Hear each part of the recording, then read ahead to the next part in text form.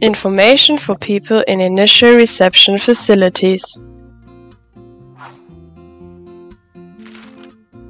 How can you attend an integration course if you have a residence permit? If there are places available, you can participate in an integration course that, among other things, includes a German course with 600 hours. Therefore, you must be from Syria, Eritrea or Somalia. What other options are there to learn German? There are many possibilities. You can participate in a language course supported by the state of Lower Saxony or any other language courses at educational institutions.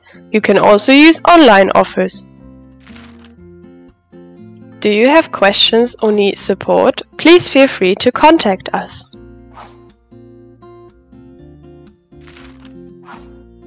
You can find a project partner in your area on the following website.